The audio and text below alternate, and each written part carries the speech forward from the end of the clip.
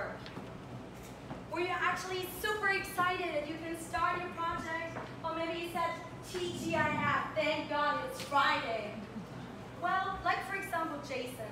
He works uh, for a bank and he hates his job. Damn it, it's Monday again, he says. But what exactly is employee engagement about?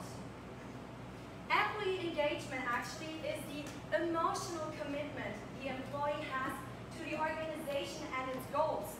It's about positive attitudes and behaviors leading to improved business outcomes. How does an engaged employee look like? Well, for example, fully absorbed by and enthusiastic about their work. They're passionate, what the happiness architect said. They take positive action in the company. Like, for example, this lady, Sarah. She loves to work in marketing and for a, for a fashion startup.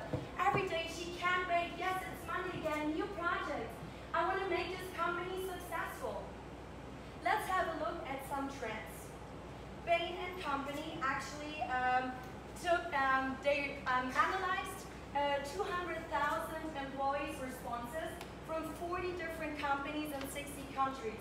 And they actually found out that engagement scores decline. That's weird, something is missing.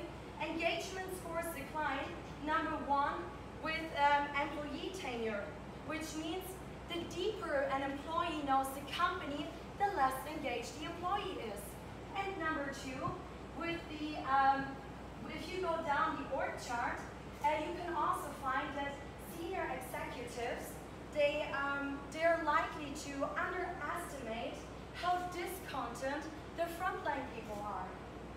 So I, I work with a lot of companies and I interviewed a lot of Chinese companies in Suzhou.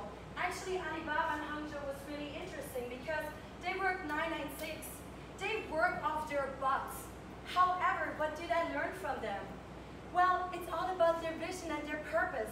Why do they work even more than 996? There's so many like well-being offers um, by their employers, but they love to be engaged because of that vision. Chinese companies are good at providing that vision because employees think, one day I will be legacy.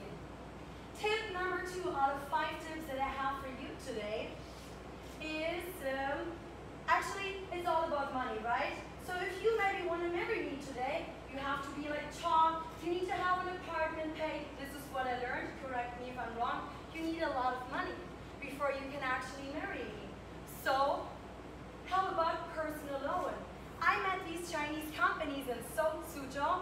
Tip number two, the manager gives a personal loan to the employee. So you can marry, you can become happy, and you can buy your car, whatever it is you need, and even bind them to the company.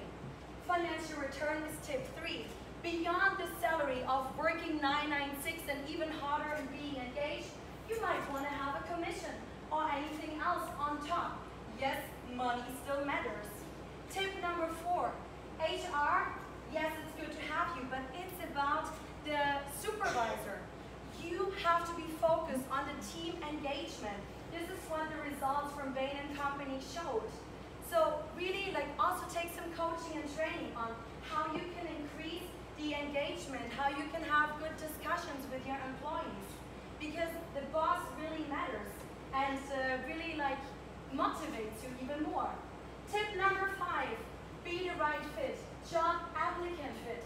There's a lot of psychological tools out there, like the 16 personality types, that can help you to actually find the right employees for the right job in your company, beyond of what the CV says. So yeah, these were the five tips. Let me quickly sum it up. Number one, again, is vision and purpose. Number two is the personal loan. This is what Chinese companies do. Number three, financial return. Number four, it's all about the linear manager above. And number five, job and employee fit. In order to sum it up, Doug Conant said, to win in the marketplace, you must first win in the workplace. Thank you so much for listening and have a great day.